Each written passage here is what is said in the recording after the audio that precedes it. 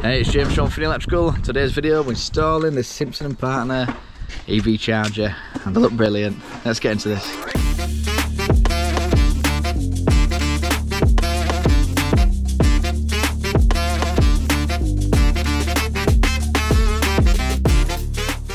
Right then, so we've got a bit of EV Ultra cable we're going to be running in.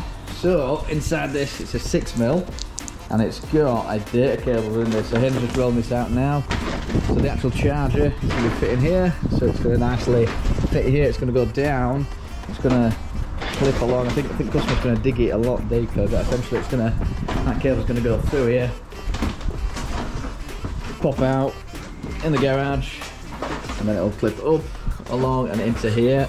And then what we've got, we've got a double pole Type A RCD. So it's a B40 on this, which will allow you 7 kilowatts. Right then, so it's just reeling this out. Yeah, we'll show you the charger then. It's a nice little unit, it's packaged beautifully.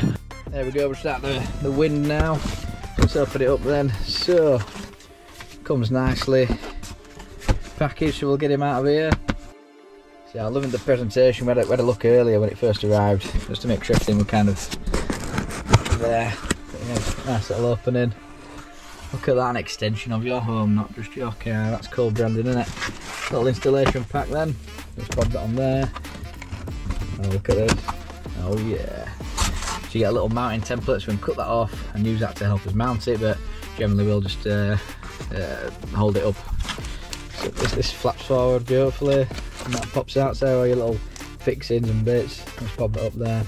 And then here's the charger then. So the cool thing about this, you can go to a website, you can customize the body of it, you can customize the lid. So with this you can get wooden finishes, you can get like a wooden lid and stuff like that. So it's pretty cool. So I've seen some installed like on a log log cabin, so it's all wood clad, and then you've got like a, a wood on your charger to match it. It looks really cool. So yeah, let's have a look then. What else we got?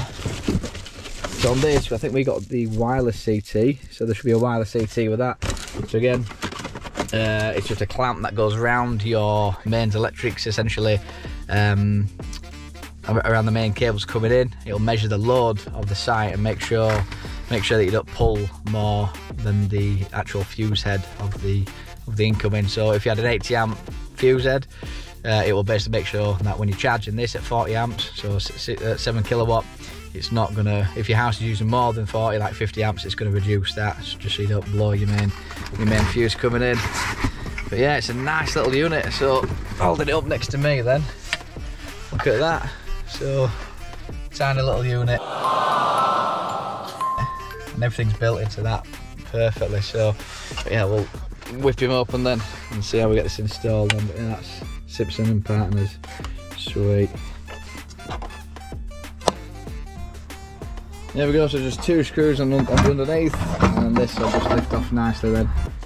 There we go, we've got that cable through now, we've got the hole through, so the cable's just bob, bob through that then, and we're along to the charger.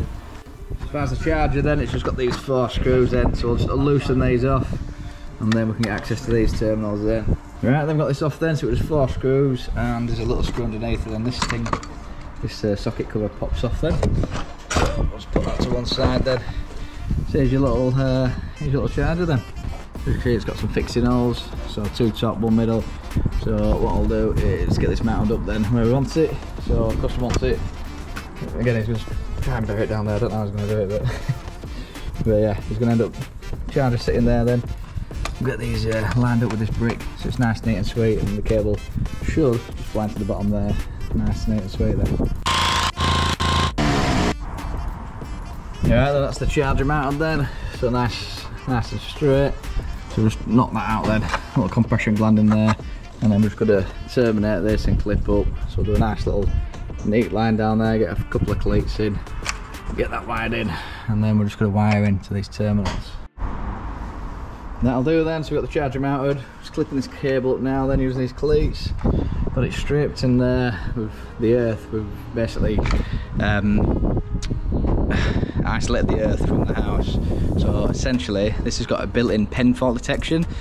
So what that does is you got your live earth and neutral coming in, and what that will do, essentially, it'll run through your pen fault detection. If it measures any, well, greater than 70 volts between earth and neutral, it will shut off any charge, any any if you had your car plugged in, it'll, it'll shut off those live earth and neutral coming out of the pen fault detection. So uh, the earth isn't connected. So essentially if the neutral coming into the property was severed and the line's still there, anything metal in the house or your big car sat on drive, this hunk of metal would become like a big human fly zapper. So it just disconnects that and saves your life. So that's what that pen fault detection does. So if you bypass that by putting an armoured gland in and earthing the chassis of that with the house's earth, then essentially just bypassed that earth disconnection.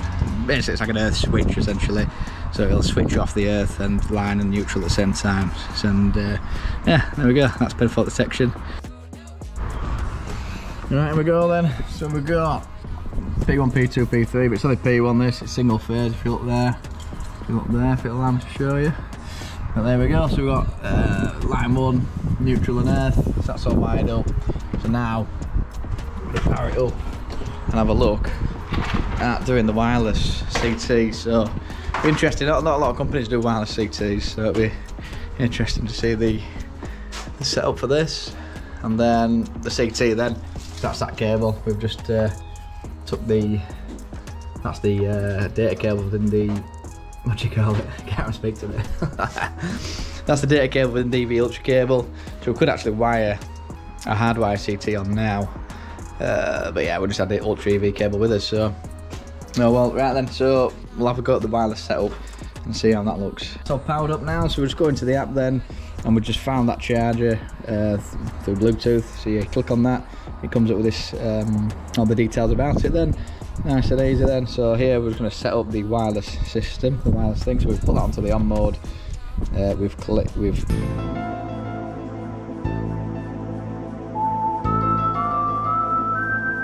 we've clicked wireless device for the uh, energy manager. And now we're just going to click pair there we go. There we go. So it's popped up now for the energy manager. So we click add and that's added. So nice and easy. So that should when we connect the CT into CT1 and then put it around the main tails coming in we should be sensing the site's load.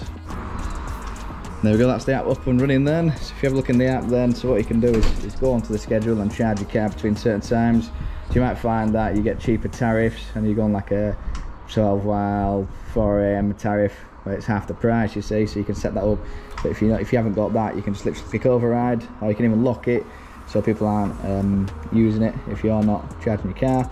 But if you want to, if you want to use it and you're not bothered about the schedule you just leave it unlocked and shoot it on override. So as soon as you plug in it'll start pulling. So that's it.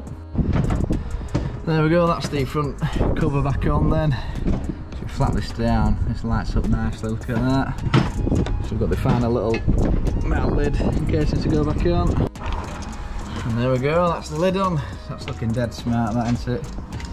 And then you come on, charge your car, that lights up nicely, you know where to plug it in. Beautiful. Just to show you that lock function then, so if you look, it's red, little red neon.